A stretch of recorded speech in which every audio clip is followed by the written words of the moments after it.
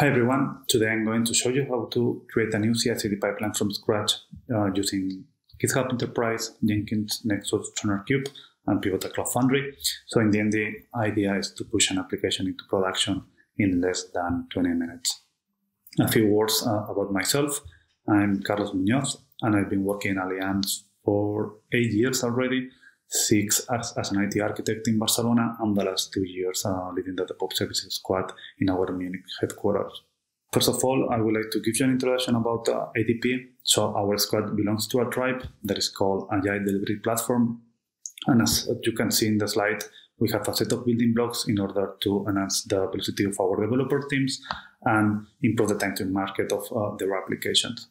For instance, for the source code repository, we have a GitHub Enterprise instance with a master or replica architecture. For the CI/CD pipeline, we have a Jenkins, SonarQube, and Nexus as an artifact repository. And for the Elastic runtime, we have Cloud Foundry. So here we are trying to provide a kind of serverless approach to our developers so they will take care of the code and we will take care of the rest. And as a container runtime platform nowadays, we have OpenShift. For monitoring and logging, we have the Prometheus ecosystem. So with Prometheus, we are going to create the metrics from our applications and also from our DevOps services. We are go, going to show this data in a fancy way with Grafana dashboard, and also with Alert Manager, we could predefine uh, the several thresholds in order to trigger an alert via email or via Slack. And for regarding the logging, we have the Elastic Stack with Elasticsearch, Logstash, Kibana, and APM as well. Regarding uh, application frameworks, in the end, this is up to the developer. We have uh, this uh, build pack mechanism that Cloud Foundry provides out of the box, so we are taking advantage of it. Um, uh, for the API gateway, we have uh, nowadays Kong, but the idea is to migrate to APG in the future. So, in order to trigger the provisioning of uh, these services in a fully automated way, we created a self-service portal that is called ADP Hub and is written in Ruby on Rails so let's go and have a look into the portal. As you can see, there are two options, the billing management and the service ordering. So if we go and click in the service ordering, we will see the total amount of services that uh, we have available. And this is, uh, in that case, we are going to roll out a new Jenkins. So this is a demo that we ran in the last Jenkins World in Nice. So the idea here is that uh, we are going to deploy a new Jenkins in our uh, E1 data center. We, uh, the Jenkins World 2018 Europe will be the name of the OpenShift project, and I will be the admin user for this uh, repository. And for the here in the end is a review and confirmation. So when we click the create button, this is the workflow that we are going to see. So at the developer team, we go to our self-service portal they will uh, select the products that they need. We will uh, send an automatic uh, commit to our Ansible inventory. This Ansible inventory has already a webhook in place, so it will trigger automatically as well the Jenkins job. And each Jenkins job uh, will run an Ansible playbook, and the Ansible playbook in the end uh, will call the Kubernetes API in order to deploy all the images that the customer uh, needs. So, but as you can see here, we have in the middle a GitHub repository. Uh, so also we provide a configuration as code approach. The developers should get rid of uh, doing any changes in uh, the user interface and persist all the changes in a GitHub repository that we will see afterwards. So every change done in uh, this GitHub repository will be automatically updated in the instances of our customers. Okay, so now it's time to have a look into our Spring Boot application. It's an application that I created a couple of years ago. As you can see, we are using Maven. And uh, in the README file, uh, we can double check uh, that uh, we are using uh, Swagger for the API documentation. And also what we are going to do now is to deploy the application uh, in our local environment. So let's go and clone the URL of the repository. And let's do the git uh, clone.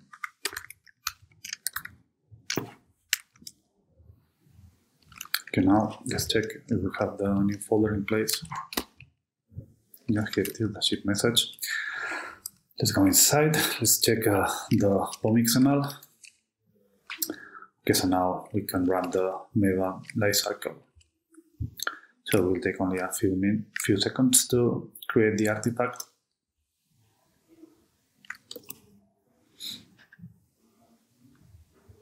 Let's check if we have the artifact in place. Yeah, here it is. So now I think it's time to uh, deploy uh, this jar file in our local environment. Let's trigger it here.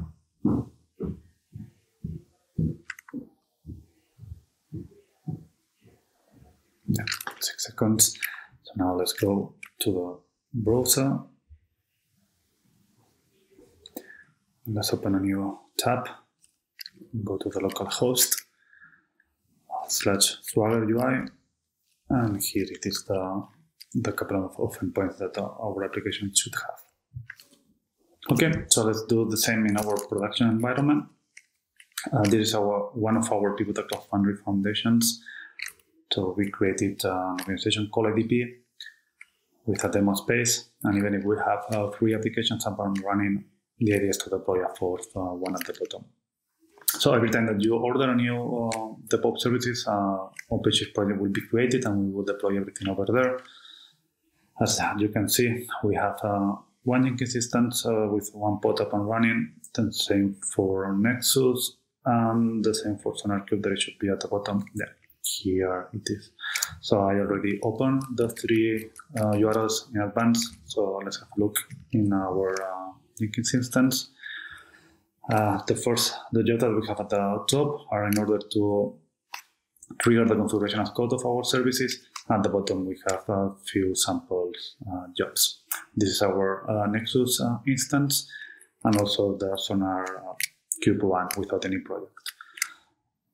The ADP toolchain configuration repo, this uh, will be our single point of truth for our configuration as code. There is 185 forks already, and we provide a folder for each one of our services. If we have a look into Jenkins, plugins, we could install a new plugin and uh, only defining the name plus the version, and it will be applied out of the box. Also, we provide several beta slaves we are taking advantage of the Kubernetes plugin. And also, we have the job description folder. That is the most important one. Here we will define the new jobs in a DSL format in a more human readable way. We provide also really good documentation. We explain for each one of the products uh, or services uh, what you could do in order to purchase the configuration. Um, so I think now it's time to create our first uh, Jenkins job. So we will go to our IntelliJ. So let's go to the Jenkins job description folder. Let's create a new file. And uh, we need to create uh, this job in a DSL way. So first of all, we need to put the job description at the top. Let's uh, call it a YouTube um, demo. And also uh, we'll copy paste uh, one block um, to don't waste uh, our time. And in that case, uh, in that block, what we are going to do is uh, we are going to spin up a Maven build slave in order to keep the master lightweight. And in this block, we are going to clone the repository uh, of our Spring Boot application. Also, the Git documentation are really important. So all the secrets are persisted in our OpenShift project. As you can see, we have the user credentials here for GitHub, and the same for SonarQube and Nexus. We have the admin and password here. So let's continue. Uh, we will uh, do it from the master branch. This block will create the webhook automatically, only with these three lines. And at the, at the end, we are going to trigger the Maven life cycle. So let's check status. Let's uh, do let's add the file as well. And let's uh, commit the change in our master branch. So let's push the change. And it should trigger uh, the ADP toolchain uh, reveals uh, jobs only in order to update the, the job list. So yeah, here it is. The job has been triggered. Anyway, in a second, we will have the new job in our Jenkins instance. Yeah, here it is. So if we edit the configuration, we will see that uh, with a few lines uh, we created this uh, job that is uh, using the Spring Boot uh, repository with my uh, GitHub credentials, also creating the, the hook and triggering the Maven lifecycle. So now it's time to trigger the job.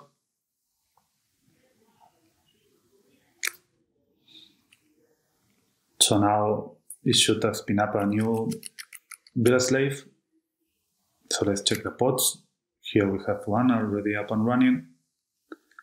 And if we check the logs, we will see that is uh, already running the job. So let's go back now to the UI of Jenkins. Let's check the logs. As you can see, now it's triggering the middle life cycle. So, but let's have a look first of all to the hook. If it has been created. Yeah, here it is. So with only three lines, we have uh, the link between our GitHub repository and our Jenkins instance. Now we need to wait. So it's still downloading some dependencies from our Nexus cluster. Okay, here it is. So the build has finished successfully. So if we go out to our Nexus instance and we browse for the snapshot, we should have here it is. So this is uh, from a previous test that I did, but this is the last one that has been created. And here we have the artifact. Okay, so now the idea is to create a couple of uh, new blocks in order to trigger the Sonar Kube analysis and deploy the application into our production environment in Pivotal Cloud Foundry. So let's uh, add the first block.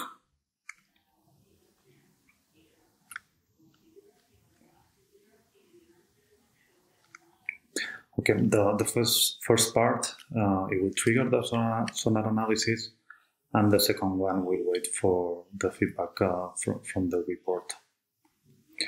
And this uh, block is the DSL format of the Pivotal Cloud Foundry plugin in Jenkins. And what it does is it's pointing to our Pivotal Cloud Foundry Foundation, ADP organization, and uh, the demo space using my credentials, and also pointing to the manifest file. So let's now commit the changes. So let's check the status. Let's add the file. Let's create the commit with the sorry with the add um sorry analysis. Ah, here it is. I the deployment to Cloud Foundry. Let's do the, do the push. Okay. Now let's check that the changes have been applied. Uh, let's go back to the main page yeah, the reveals uh, jobs only is running. Uh, finished. Let's check the configuration if we can see the sonar analysis. Here, yeah, here it is. And also we should see at the end the Pivotal Cloud Foundry plugin as well. Yeah, perfect. So, but this time, let's uh, check the CI/CD pipeline. So let's uh, do a silly change in our uh, web application to the index file, for instance. So let's go there, uh, static index, and let's edit the file from here. So let's put uh, YouTube uh, demo as well again. And uh, once uh, we commit the change to our master branch, it should uh, trigger the Jenkins job automatically. So let's create a commit uh, description. So let's go now to our Jenkins instance. And here it is. The YouTube demo has been triggered. Now we will need to wait a, a few minutes because uh, we will need more time to run the sonar analysis plus the deployment in our Pivotal Cloud Foundry instance. Uh, we can check the logs. Now it's uh, building the artifact, the new snapshot. Yeah, uploading the artifact. So the build has finished successfully. So let's go to our Nexus. We should have another folder with another snapshot.